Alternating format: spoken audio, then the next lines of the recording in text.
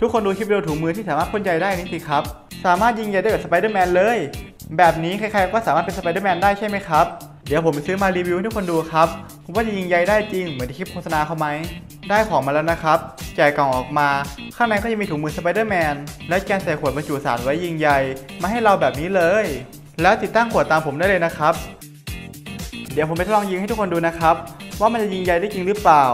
ความฝันที่จะเป็นสไปเดอร์แมนของผมจะเป็นจริงไหมมาดูกันเลย